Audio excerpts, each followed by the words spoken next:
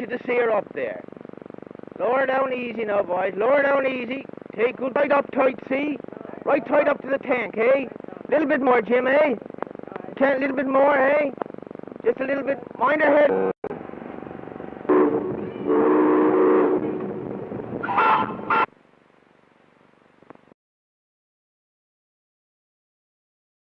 Again, on our way, bound to Greenland.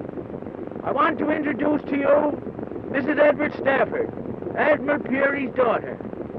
Glad to be on board the Morrissey with Captain Bob. And we're planning to build a monument to my father's memory in Greenland. Hey, have you been looking forward to this trip?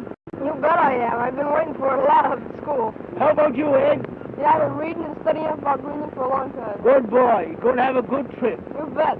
We have you in the whale boat, hunting walrus, going around with the Eskimos. You'll have one grand trip. You come back, you'll be about two inches higher and almost as big as I am. Just Take a good look at the New York skyline. It'll be a long time before you'll see it again.